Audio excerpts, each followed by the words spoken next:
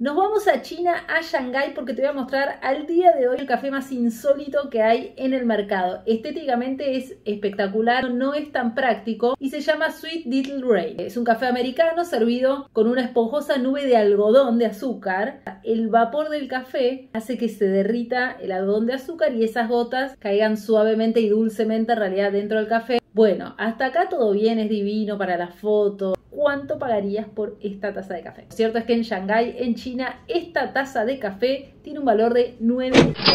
Es ingenioso, a raíz de esto se hizo muy popular, pero si le echas una mirada más de cerca no es tan práctico porque la nube es bastante más grande que la taza en sí y no se puede controlar el vapor. Las gotas caen también sobre el plato pero bueno, lo cierto es que el concepto Sweet Little Rain ya está en muchos lugares del mundo y muy pronto seguramente lo vamos a ver acá.